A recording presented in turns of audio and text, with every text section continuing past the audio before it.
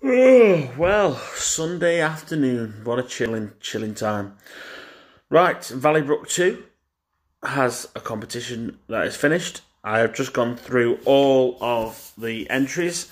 A lot of people have entered for multiple prizes, and I've written down all the entries on these three pieces of paper.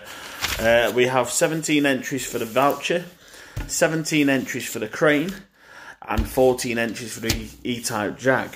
So what I'm going to do is going to be a pre-recorded video. It's not going to be live.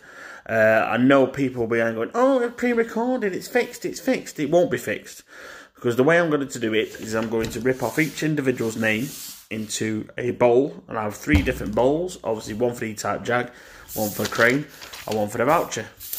Then I'm going to ask three members of the model railway community that I've already selected to pick a number between, say for instance, the voucher between 1 and 17.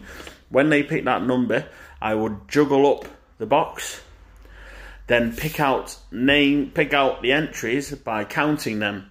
So say for example, um, the crane picks number 5. So I'll pick out five pieces of paper. The fifth one I pick out will be written, written out and be there. So Good luck to everybody. Look out for the video very soon.